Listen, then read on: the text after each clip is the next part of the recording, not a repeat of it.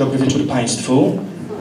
Witam wszystkich zgromadzonych e, z osobna po pięknej mszy świętej, za którą dziękujemy e, naszym ojcom duchownym, ojcu Januszowi, ojcu Woj Wojciechowi, ojcu Tomaszowi.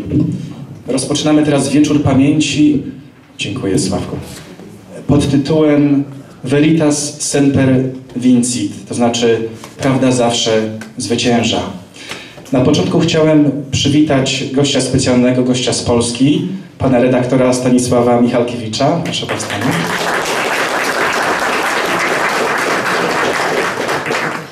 Spotkanie z panem redaktorem będzie w Domu Polskim w najbliższy czwartek o godzinie 19.30, na które zapraszamy w imieniu organizatorów. Y, dziękujemy za liczne przybycie. Dzisiejszy wieczór, wieczór pamięci jest z okazji naszych bolesnych rocznic. Rocz, 75. rocznicy zbrodni katyńskiej i tak zwanej piątej rocznicy tak zwanej e, tragedii smoleńskiej, aż do kolejnych wyjaśnień. E, spotykamy się e, na odczyt pana doktora inżyniera Macieja Błońskiego, który zostanie później e, potem będzie część artystyczna przygotowana przez grupę Teatru Słowa imienia Mieczysława Kotlarczyka pod, w reżyserii pod kierownictwem pani Marii Berwin-Gawalewicz. Wszystko jest we współpracy z Polską Jednością Narodową. Także zapraszamy i proszę pana doktora inżyniera Macieja Błońskiego z Instytutu imienia Oskara Haleckiego w Kanadzie o okolicznościowe przemówienie. Dziękuję bardzo. Proszę Państwa, dwie rocznice Katyń i Smoleńsk. Przysięgam Panu Bogu Wszechmogącemu, w Trójcy Świętej Jedynemu, być wiernym Ojczyźnie mej, Rzeczypospolitej Polskiej, sztandarów wojskowych nigdy nie odstąpić, stać na straży Konstytucji i honoru żołnierza polskiego prawu i panu prezydentowi Rzeczypospolitej być uległym, rozkazy dowódców i przełożonych wiernie wykonywać, tajemnic wojskowych szczec, za sprawę ojczyzny mej walczyć do ostatniego tchu w piersiach i w ogóle tak postępować, aby mógł żyć i umierać jak prawy żołnierz polski. Tak mi dopomóż Bóg i święta Syna Jego męko. Amen. Taką rotę przysięgi składali wszyscy żołnierze i oficerowie w II Rzeczypospolitej. Rotę tę wypełnili ci, co zginęli w Katyniu do końca, do swej strasznej śmierci. Taką też składali wszyscy ci, którzy zginęli z rozkazu Komitetu Centralnego Wszechzwiązkowej Komunistycznej Partii Bolszewików Rosji. Rozkaz ten został sporządzony jako notatka szefa NKWD Ławrentia Beri do Józefa Stalina. Właściwego rozkazu nigdy nie wydano. Pod pięćdziesięcią Ludowego Komisariatu Spraw Wewnętrznych Związku Sowieckiego widnieje napis ściśle tajny z 5 marca 1940 roku do Komitetu Centralnego Wszechzwiązkowej Komunistycznej Partii Bolszewików dla towarzysza Stalina. Ukośnie na tej pierwszej stronie widnieją podpisy Stalina Woroszyłowa, Mołotowa i Mikojana, a na marginesie protokolarna notatka. Towarzysz Kalinin za, Kaganowicz za. Dalej za zgodność z oryginałem pieczęć i podpis. Rozkaz ten podpisało więc całe biuro polityczne KC, a nie tylko sam Stalin. Przez długi czas zastanawiano się, dlaczego właśnie widnieje nad nim data 5 marca. 1940 roku. Była to data bliska dacie 13 marca, zawieszenia broni na froncie wojny fińsko-rosyjskiej, po fińsku Talwisota, czyli wojna zimowa, która była następnym okrutnym etapem realizacji paktu Ribbentrop-Mołotow z 24 sierpnia 1939 roku. 5 marca rozwijała się ostatnia i częściowo tylko pomyślna ofensywa sowiecka na tak zwanym przesmyku karelskim. Podejrzewa się, że wtedy zdecydowano się ostatecznie zlikwidować oficerów polskich, którzy nawet nie mieli statusu jeńców wojennych, ponieważ Rosjanie nie podpisali, jak wiadomo, ani konwencji genewskiej, ani innych konwencji o jeńcach wojennych. Początkowo Sowieci chcieli ich wykorzystać na Syberii, wykorzystując do niewolniczej pracy. Rozkaz Berii dotyczył dokładnie 14 736 oficerów, jeńców przebywających w obozach jenieckich według narodowości ponad 90, 97% Polaków i 18 632 aresztowanych przebywających we więzieniach w zachodnich obwodach Ukrainy i Białorusi. Wśród nich około 10 685 Polaków. Notatka też cytuje dokładnie liczbę skazanych. 14 700 plus 11 tysięcy, łącznie 25 700 osób do wykonania na nich wyroków śmierci przez rozstrzelanie.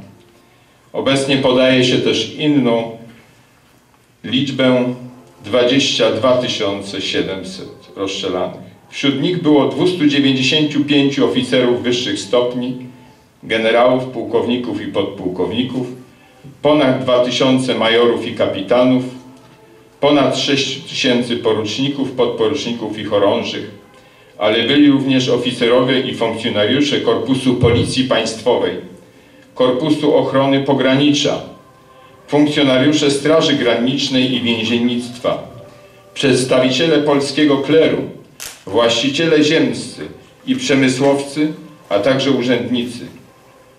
Łącznie więc zbrodnia katyńska dotyczy ponad 25 tysięcy osób. Spośród kadry oficerskiej pewną część stanowili bardzo wykształceni oficerowie rezerwy, zmobilizowani w sierpniu 1939 roku. Proszę Państwa, należy wspomnieć, że w tym czasie tylko 1% przecinek 2 1,2% to byli ludzie, którzy mieli wyższe wykształcenie w Polsce. I strata, która była w Katyniu, była ogromną stratą, dlatego że zginęło bardzo dużo oficerów rezerwy, którzy mieli wyższe wykształcenie. W wyniku tego rozkazu dokonano zbrodni bez precedensu w historii współczesnych wojen.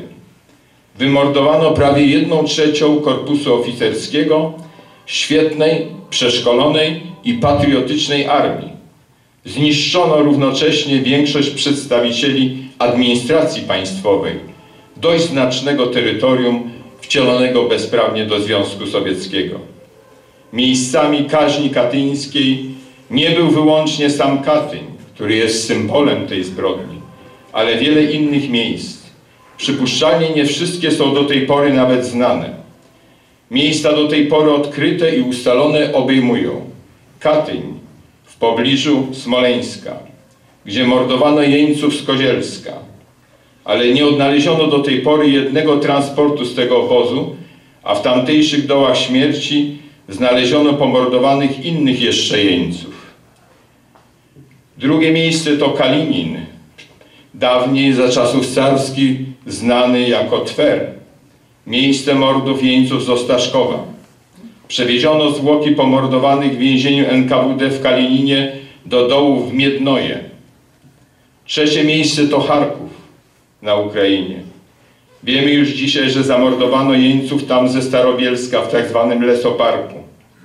Przy czym istniały tam jeszcze inne miejsca zbrodni, na przykład w podziemiach więzienia NKWD przy placu Dzierżyńskiego w Charkowie, doły śmierci zabetonowano później w Lesoparku. Wreszcie Kijów, stolica obecnej Ukrainy, miejsce zbrodni z tego samego rozkazu Berii. Mordowano tam przy ulicy Korolenki 17 i stamtąd przewożono trupy do dołów Bykowni. Wreszcie Mińsk, obecnie stolica Białorusi. Mordowano tutaj Polaków w słynnym więzieniu zwanym Amerykanką przy prospekcie Lenina 13. Wywożono też więźniów do tak zwanego Zielonego Ługu lub być może nawet do Kuropat. W kwietniu 1943 roku Niemcy hitlerowskie odkryły groby katyńskie i zezwolili oni na ekshumację ciał pomordowanych przez specjalną Komisję Międzynarodowego Czerwonego Krzyża. Zezwolono też na udział przedstawicieli Polskiego Czerwonego Krzyża na czele z hrabią Skarżyńskim. Na co zgodę wydała Komenda Główna Armii Krajowej w Polsce. Obecnie istnieją poszlaki, że Niemcy wiedzieli wcześniej o Katyniu, a nawet byli zaproszeni jako obserwatorzy w ramach wcześniejszych ustaleń współpracy ich sił bezpieczeństwa, czyli Gestapo z NKWD, w eksterminacji Polaków w latach 1939-41. Odwiedzili też miejsce zbrodni przedstawiciele Rady Głównej Opiekuńczej, organu administracyjnego polskiego, które, na którego czele stał hrabia Ronikier, pod zarządem niemieckim w generalnej guberni. Mord oficerów polskich z rąk NKWD został podany do publicznej wiadomości. Po zajęciu terenów Smoleńska przez Sowietów władze komunistyczne powołały sowiecką komisję, tak zwaną komisję Burdenki. Ponownie przekopano groby i dokonano ekshumacji zwłok pomordowanych. Sowieci wtedy obwieścili światu, że zbrodni dokonali Niemcy po przejęciu jeńców polskich po inwazji w 1941 roku. Alianci jednak starali się całkowicie zignorować sprawę Katynia, chociaż doszło do zerwania stosunków polsko-rosyjskich ze strony Sowietów. Tak opisywał stanowisko aliantów zachodnich George Kennan, ambasador Stanów Zjednoczonych w Moskwie już po wojnie w latach 52-53 podczas swojej rozmowy w 1970 roku, drugim roku z profesorem Januszem Zawodnym, polskim historykiem pracującym w Stanach Zjednoczonych. Tak mówił George Kennan. Zwycięstwo aliantów w tej wojnie było od samego początku obciążone tym, że alianci nie byli zbyt silni, żeby pokonać Hitlera bez Związku Sowieckiego. W tej sytuacji nie byli w stanie zająć wyraźnego stanowiska w sprawie swoich początkowych celów wojennych. Musieli pójść na kompromis politycznymi celami reżimu Stalina. To ich postawiło w fałszywej i pełnej hipokryzji sytuacji. Polska była najbardziej widocznym tego przykładem. Paradoksalnym powodem, dla którego alianci odnosili się z niechęcią do Polaków, był fakt, że Polacy chcieli obronić swoją niepodległość. Było to dla aliantów kłopotliwe. Chcieli, by Polacy stawiali opór Niemcom, ale poddali się Rosjanom. W innym miejscu swojej ważnej pozycji, wydanej na początku w języku angielskim na temat Katynia, profesor Janusz Zawodny wspomina opinię porucznika hrabiego Józefa Czapskiego, który był desygnowany przez generała Władysława Andersa w Rosji do poszukiwań zaginionych oficerów polskich, ponieważ do armii Andersa zgłosiło się tylko kilkuset. Pisze tak Czapski, czy mówi, spotkaliśmy bardzo przyzwoitego oficera wywiadu amerykańskiego o polskim nazwisku, podpułkownika Szymańskiego, który miał pojechać do Roosevelta, do Waszyngtonu, by mu raportować o sytuacji Polaków w Rosji. Wszystkie materiały zbieraliśmy, najdokładniejsze, żeby doszły do Roosevelta, bo wiedzieliśmy, że on się ciągle wahał, czy była możliwość, żeby Rosjanie to zrobili. Dwa lata później dowiedziałem się, pisze Czapski, że te papiery nigdy do Roosevelta nie doszły i że z jego rozkazu dwójka, czyli wywiad amerykański, zniszczył wszystkie papiery, w których mówiono, że to zrobili Rosjanie. Jednak po wojnie Amerykanie zachowali się lepiej niż Anglicy. W 1951 roku powołano Komisję Kongresu Stanów Zjednoczonych do przeprowadzenia pełnych i całkowitych badań masakry katyńskiej, międzynarodowej zbrodni popełnionej na żołnierzach i obywatelach polskich na początku II wojny światowej, której przewodniczył Ray Madden. Między innymi późniejszy alderman z Chicago, który miałem możliwość znać, y, pan Puciński, przewodniczył grupie prawników, która opracowywała materiały y, w komisji Reja Madena. Amerykanie stwierdzili, że zbrodnia katyńska mogła być wzorem dla zbrodni podczas wojny koreańskiej ze strony Czerwonej Korei. Istnieją poszlaki, że Rosjanie kręcili filmy podczas zbrodni w Katyniu, które potem przekażali zbrodniarzom koreańskim w 1950 roku, by zastosowali te metody na jeńcach zachodnich i południowo-koreańskich podczas wojny.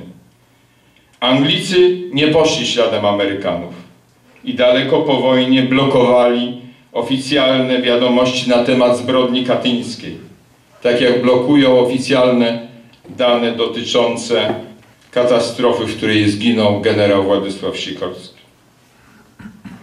Hipokryzja Zachodu, tak widoczna, została dzisiaj częściowo zapomniana. Warto ją, proszę Państwa, przypomnieć w dobie nowych zagrożeń ze strony Rosji Putina w XXI wieku. Na kłamstwie o zbrodni katyńskiej opierała się sowiecka okupacja Polski przez 45 lat. Do 56 roku za podniesienie w rozmowie prywatnej nawet sprawy Katynia groziło wieloletnie więzienie. Po 56 roku Katyń nie istniał i miał być wykreślony na zawsze z pamięci narodowej. Sformułowanie zbrodnia katyńska jest również używane dla określenia zbrodni sowieckich na Polakach w latach 39-41, a nawet dalej, lub też na określenie eksterminacji polskiej inteligencji na Kresach II Rzeczpospolitej. Pewien przełom nastąpił dopiero w 1989 roku. Powołany wkrótce Instytut Pamięci Narodowej podjął dalsze śledztwo w sprawie Katynia i poszukiwania miejsc kaźni. Nie doprowadziły one niestety do sprowadzenia szczątków bohaterów do ojczyzny. Istnieją jednak poza granicami Polski, na nieludzkiej ziemi, polskie cmentarze wojenne, które nie obejmują wszystkich ofiar tej zbrodni. Powstała w Polsce Federacja Organizacji Rodzin Katyńskich, która pielęgnuje pamięć ofiar, a grupuje potomków ofiar. Powoli powraca Katyń do pamięci narodowej. Ale wiedza na ten temat i wiedza o, szczególnie o tych indywidualnych osobach, którzy zginęli, jest w dalszym ciągu minimalna. Podjęto piękną akcję sadzenia tzw. Tak dębów katyńskich dla upamiętnienia każdej ofiary z imienia i nazwiska. Odbywają się pielgrzymki, rajdy i wiele odwiedzin cmentarzy i miejsc kaźni. W tym prymat wiedzie miejsce symbol, jakim jest sam Katyń, tak zwane Kozie Góry, po rosyjsku Kosogory, pod Smoleńskiem. Niedaleko tego miejsca, 10 kwietnia 2010 roku, rozbił się polski wojskowy samolot Tu-154M, na którego pokładzie leciała na obchody 70-lecia zbrodni katyńskiej polska oficjalna delegacja państwowa. Cała delegacja polska wraz z załogą samolotu zginęła. Razem 96 osób. Wśród nich prezydent Rzeczpospolitej Polskiej Lech Kaczyński z małżonką Marią. Ostatni prezydent Rzeczpospolitej Polskiej na uchodźstwie Ryszard Kaczorowski. Wicemarszałkowie Sejmu i Senatu. Grupa parlamentarzystów reprezentujących większość stronnic w polskim Sejmie. Dowódcy wszystkich rodzajów sił zbrojnych Rzeczpospolitej pracownicy Kancelarii Prezydenta, szefowie instytucji państwowych, jak, Instytut, jak Instytutu Pamięci Narodowej, profesor Kurtyka, prezes Narodowego Banku Polskiego, duchowni wszystkich najważniejszych denominacji, przedstawiciele ministerstw, organizacji kombatanckich i społecznych oraz osoby towarzyszące. Ówczesny rząd polski nie wypełnił swoich obowiązków i postanowił oddać całkowicie śledztwo i zbadanie tej tragedii stronie rosyjskiej. Rozpoczęto wtedy bardzo nieudolnie polskie zbadanie katastrofy, bez koniecznych dowodów, bez przekazanego wraku samolotu, bez oryginalnych czarnych skrzynek. Badania i polskie śledztwo przeprowadzono w sposób skandaliczny i urągający wszelkim zasadom. Nie dokonano nawet koniecznych badań wszystkich ciał ofiar katastrofy. Po pięciu latach nie znamy przyczyn tragedii i nie ma winnych. Zarówno strona rosyjska, jak i polska uchyla się od powołania międzynarodowej komisji, by zbadać przyczyny tej strasznej katastrofy. Trwa natomiast kampania oszczerstw w stosunku do pilotów i również w stosunku do ofiar, prowadzona z ogromnym natężeniem przez środki masowego przekazu znajdujące się w rękach postkomunistów w Polsce. Powstała parlamentarna grupa do spraw zbadania przyczyn tragedii smoleńskiej pod przewodnictwem ministra Antoniego Maciarewicza udowodniła niezaprzeczalnie błędy w opublikowanych dwóch raportach, rosyjskim w tzw. raporcie MAKU, Komisji do Spraw Badań Wypadków Lotniczych na terenie wspólnoty państw niepodległych powstałych z rozpadu tzw. Związku Sowieckiego, co obejmuje Federację Rosyjską i polskim raporcie ministerialnym ministra Jerzego Millera. Ci, którzy byli związani z Rosją i z Putinem, rozpoczęli w całym świecie zaraz po katastrofie pełną zakłamania kampanię, że tragedia ta otworzy nowy pomyślny trend w stosunkach polsko-rosyjskich. Kampania ta nie ominęła Ottawy, gdzie kilka dni po tragedii gazeta codzienna Ottawa Citizen opublikował w języku angielskim artykuł sygnowany przez Leszka Mirela, szefa SLD, partii wprost wyrosłej z komunistów polskich i profesora Piotra Dudkiewicza, że otwiera się teraz nowy etap w stosunkach polsko-rosyjskich. Nie przewidzieli zwolennicy Rosji i Putina, że dojdzie w 2014 roku do aneksji Krymu i otwartej wojny we wschodniej Ukrainie. Obecna skomplikowana sytuacja nie sprzyja wyjaśnieniu przyczyn tragedii pod Smoleńskiem. Są też istotne dowody, że doszło do wybuchu, gdy samolot przebywał jeszcze nad ziemią. Manipulacja, proszę Państwa, dotycząca tragedii smoleńskiej przybiera różne formy i jest wykorzystywana w ostrej kampanii przed wyborami w ojczyźnie. Dwa kłamstwa, katyńskie i smoleńskie, chociaż są wymownym przykładem najnowszej historii Polski, nie mogą się stać podstawą przyszłej, nowej, odbudowanej Polski. Są wielkim wyzwaniem dla wszystkich Polaków, w tym również dla Polonii Kanadyjskiej. W chwili obecnej, chwili niewątpliwie, proszę Państwa, historycznej, konieczne będzie wyrażenie poparcia dla tych ludzi, którzy uniemożliwią dalszą degradację Polski, deptania jej historii, tożsamości narodowej, tradycji, deptania naszej wiary, wszystkiego, czym jesteśmy i kim być pragniemy. Konieczny jest wysiłek nas wszystkich. Tego pragniemy. Tego pragnie Polonia i tego pragnie naród polski.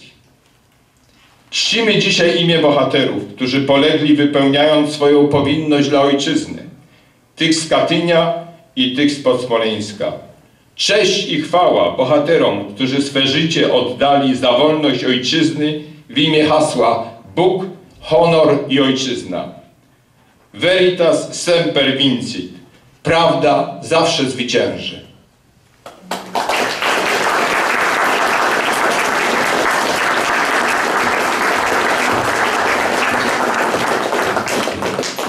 Dziękujemy bardzo panu doktorowi Jabłońskiemu.